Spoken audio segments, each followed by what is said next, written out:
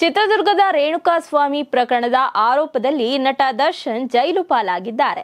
ಇದರ ನಡುವೆ ಜಾಮೀನುಗಾಗಿ ನಟ ಹಂಬಲಿಸುತ್ತಿದ್ದಾರೆ ಈ ಬೆನ್ನಲ್ಲೇ ದರ್ಶನ್ ಬಿಡುಗಡೆಗೆ ಮುಹೂರ್ತ ಫಿಕ್ಸ್ ಆಗಿದೆ ಅಂತ ಜ್ಯೋತಿಷಿಯೊಬ್ರು ಸ್ಫೋಟಕ ಭವಿಷ್ಯ ನುಡಿದಿದ್ದಾರೆ. ಆ ಬಗ್ಗೆ ಹೇಳ್ತೀವಿ ಇಂದಿನ ವಿಡಿಯೋದಲ್ಲಿ. ರೇಣುಕಾಸ್ವಾಮಿ ಕೊಲೆ ಪ್ರಕರಣದಲ್ಲಿ ನಟ ದರ್ಶನ್ಗೆ ಜೈಲಿನಿಂದ ಬಿಡುಗಡೆಗೆ ಮುಹೂರ್ತ ಫಿಕ್ಸ್ ಆಗಿದೆ.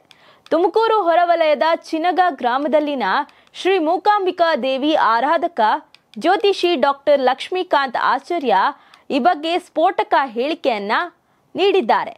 ಸದ್ಯ ಈ ಸ್ಫೋಟಕ ಹೇಳಿಕೆ ಎಲ್ಲೆಡೆ ವೈರಲ್ ಆಗ್ತಿದೆ. ಈ ಬಗ್ಗೆ ಶ್ರೀ ಮೂಕಾಂಬಿಕಾ ದೇವಿ ಹೂವು, ಬಲಗಡೆ ಪ್ರಸಾದ ಕೊಡುವ ಮೂಲಕ ಶುಭ ಫಲದ ಮುನ್ಸೂಚನೆ ಸಿಕ್ಕಿದೆ. ಇದರ ಪ್ರಕಾರ ಬಳ್ಳಾರಿ ಜೈಲು ಸೇರಿರುವ ನಟ ದರ್ಶನ್, ಅಶ್ವೀಜ ಕಾರ್ತಿಕ ಮಾಸದ ಮಧ್ಯಭಾಗದಲ್ಲಿ ಬಿಡುಗಡೆ ಆಗ್ತಾರಂತೆ. ಎರಡು ಸಾವಿರದ ಇಪ್ಪತ್ತೇಳಕ್ಕೆ ದರ್ಶನ್ಗೆ ಶನಿ ದಶಾಭುಕ್ತಿ ಪ್ರಾರಂಭವಾಗಲಿದೆ. ಆ ಬಳಿಕ ದರ್ಶನ್ ಜೀವನ ಕೂಡ ತುಂಬಾ ಚೆನ್ನಾಗಿರಲಿದೆ ಅಂತ ಜ್ಯೋತಿಷಿಗಳು ಭವಿಷ್ಯವನ್ನ ನುಡಿದಿದ್ದಾರೆ. ದರ್ಶನ್ ಬಿಡುಗಡೆ ಬಗ್ಗೆ ಜ್ಯೋತಿಷ್ಯ ಹೇಳುತ್ತಿರುವಾಗಲೇ ತಾಯಿ ಮೂಕಾಂಬಿಕಾ ದೇವಿ ಬಲಗಡೆ ಹೂ ಪ್ರಸಾದ ಕೊಟ್ಟಿದ್ದಾಳೆ. ದೇವಿಯ ಹೂ ಪ್ರಸಾದದಿಂದ ದರ್ಶನ್ ಬಿಡುಗಡೆ ದೃಢಪಟ್ಟಿದೆ. ದರ್ಶನ್ ಜನ್ಮ ಜಾತಕದ ಪ್ರಕಾರ ಶುಭ ಸಮಯ ಪ್ರಾರಂಭವಾಗಿದೆ. ದೇವಿಯ ಆಶೀರ್ವಾದ ಸಂಪೂರ್ಣ ಇದೆ. ಎಲ್ಲವೂ ಶುಭವಾಗುತ್ತೆ ಅಂದಿದ್ದಾರೆ. ದರ್ಶನ್ರ ದಶಾಭುಕ್ತಿಗಳು ಅಂತ್ಯವಾಗಿ ಶುಭ ದಶಾಭುಕ್ತಿಗಳು ಪ್ರಾರಂಭವಾಗಿವೆ.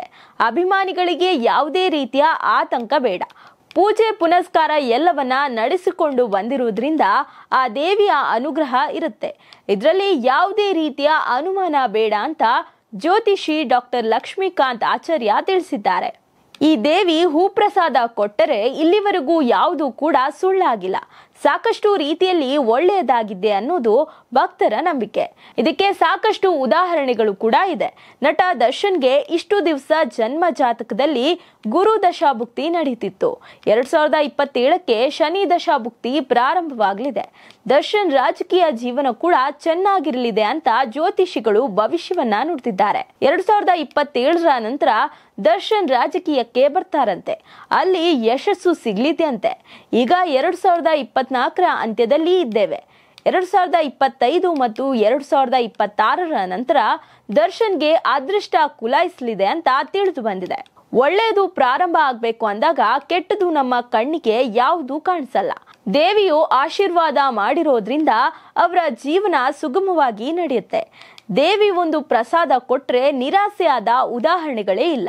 ಮಾಜಿ ಪ್ರಧಾನಿ ಎಚ್ ಡಿ ದೇವೇಗೌಡರು ಚಂಡಿಕಾ ಯಾಗ ಮಾಡಿಸಿದ್ರು. ಅದಾದ ನಂತರ ಕುಮಾರಸ್ವಾಮಿ ಮುಖ್ಯಮಂತ್ರಿ ಆದರು. ಕ್ಷೇತ್ರದಲ್ಲಿ ರಾಜ್ಯದ ಪ್ರಮುಖರು ಕೂಡ ಭೇಟಿ ಕೊಟ್ಟು ದೇವಿಯ ಆಶೀರ್ವಾದವನ್ನ ಪಡೆದಿದ್ದಾರೆ. ಎಲ್ಲರಿಗೂ ಒಳ್ಳೆಯದಾಗಿರುವ ನಿದರ್ಶನಗಳಿವೆ ಅಂತ ಜ್ಯೋತಿಷಿ ಡಾಕ್ಟರ್ ಲಕ್ಷ್ಮೀಕಾಂತ್ ಆಚಾರ್ಯ ಭವಿಷ್ಯವಾಣಿ ನುಡಿದಿದ್ದಾರೆ.